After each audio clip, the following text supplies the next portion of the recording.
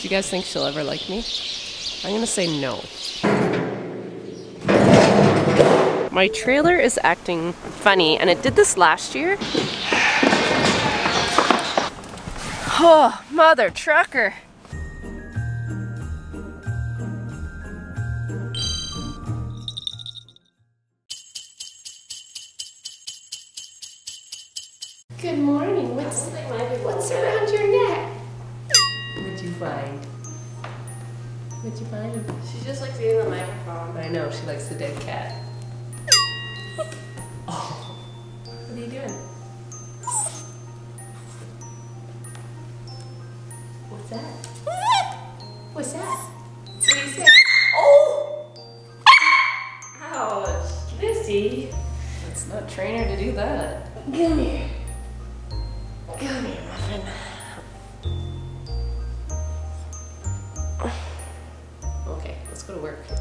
Scary. I know. She's pretty scary. Let's go.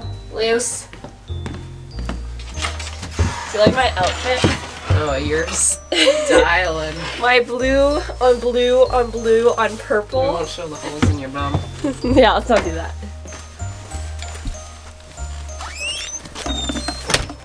Oh, other part. Separation anxiety. I'm like, dude. Gotta get over this. Are you actually gonna come in? Come on.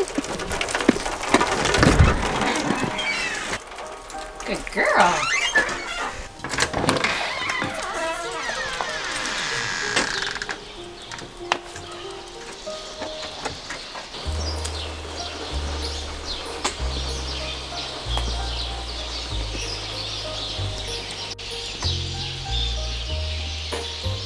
Oh, mama.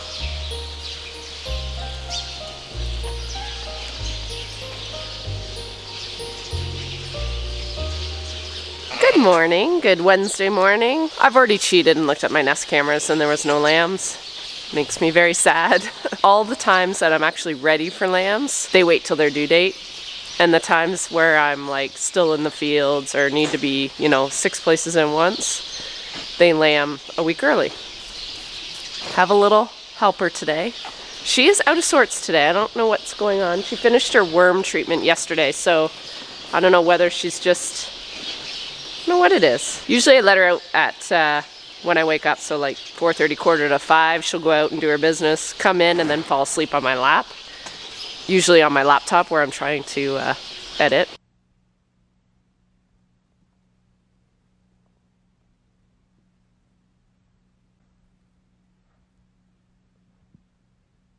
But today she just was really wiggly, just kind of out of sorts. There she is. Hey, Dorsey. Straight up.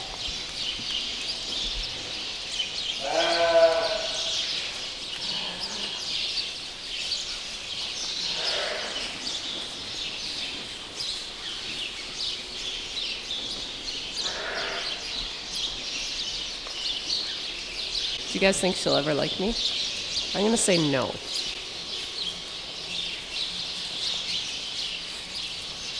Not a whole lot on the agenda today. I do want to meet Romy and Ryan. Romy is, we did that collaboration for my website, so she made the little wool wool ornaments and the wool dryer balls for me. So we're gonna have a celebration lunch today. And then tonight I have to ship my ewes that, uh, that didn't make the cut the other day for the evaluation. So that is pretty much all for today. And then I'm just on baby watch for the rest of rest of the week, I guess. They're due Saturday. Today's Wednesday, so three days left. Hopefully we'll see a baby. Hey guys. So for you, it's been a second. For me, I haven't picked up this camera for like eight hours. we ended up running errands all day today. I haven't been really just Mark and I for quite a while. So we did lunch with Romy and Ryan, which was so nice to be like in civilization again. And yeah, and now it's time to load up those those ewes that I sorted out the other day before it gets too dark. I like to hit the road. So we're gonna go and do that now and check for babies.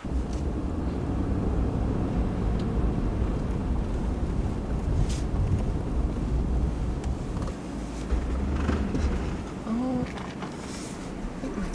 my trailer is acting funny, and it did this last year. It's like a tire stuck. It just, it doesn't feel right. So I'm just getting Mark to come have a look at it. Last year, I can't remember, it was one of these tires, and it was like it was not turning, it was just dragging. So I don't know if moisture gets in it. Or if it's this one now. I don't know. We're gonna get the expert out here to see. Do you have any weight in it? No, That might solve your problem. it's going now, but it was dragging. You can see where it was dragging here, especially here. And I don't know why it's doing that. Did that last year. Huh. I love my trailer.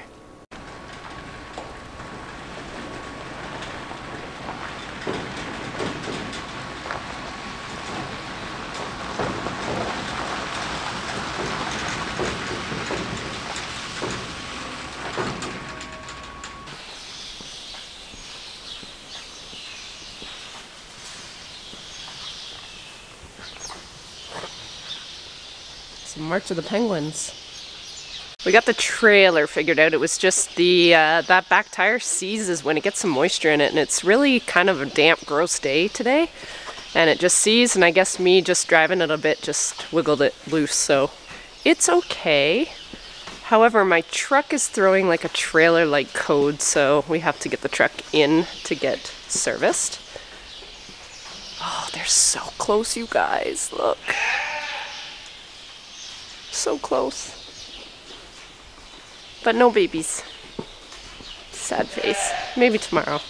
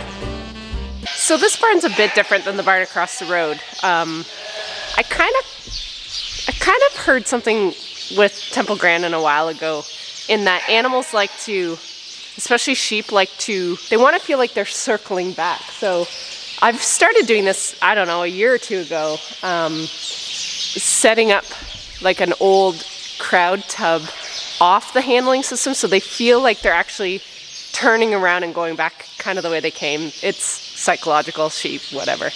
Um, but it works really, really well. So I'm just gonna back the trailer right up to the ramp there.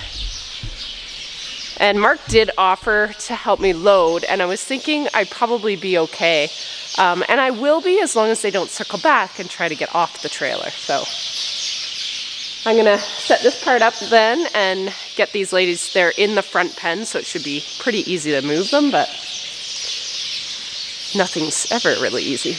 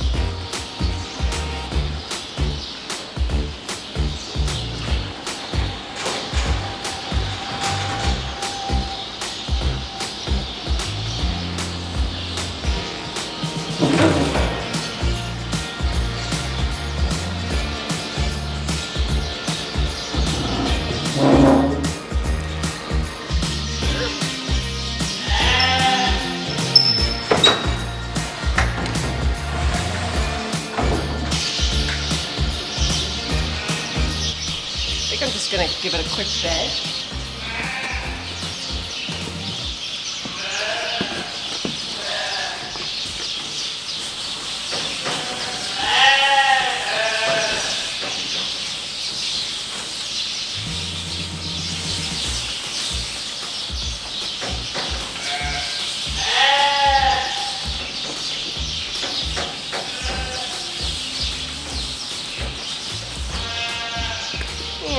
I'll throw some hay.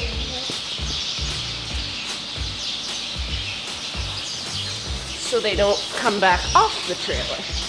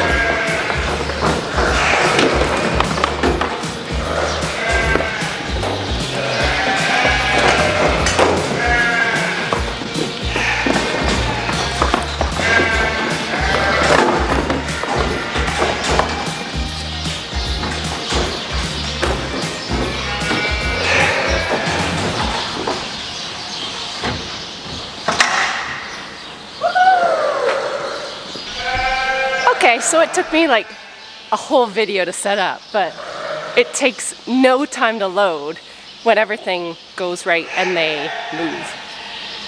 So it's all about setting up. And I probably just had the perfect amount of views. All right, we're gonna make the trek up and maybe I'll bring my camera. Ah, it's gonna be dark. I don't know what to do. I'll catch up with you guys when I get back.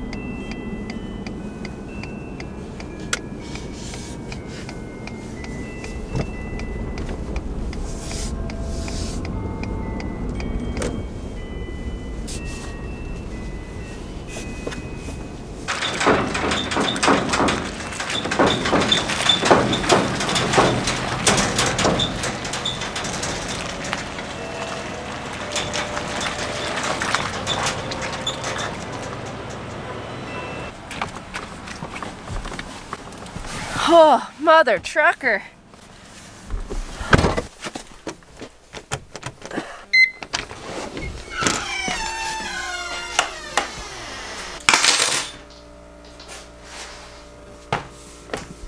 Okay, you guys, this video is probably going to be super short, which some of you are going to be really happy about, and others might not be so happy about.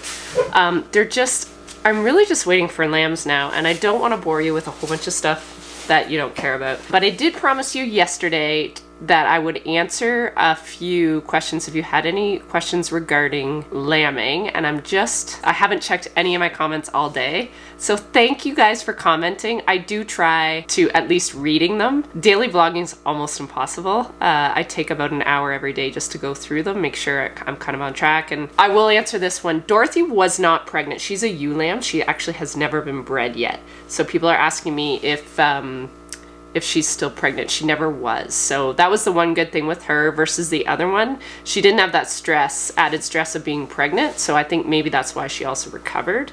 I'm not entirely sure, but I'm, I'm probably it didn't hurt. It's really no lambing questions. That's impressive. Oh, someone is okay. Mark actually, Mark just talked to me about this too. That there's hoses with built-in heat trace.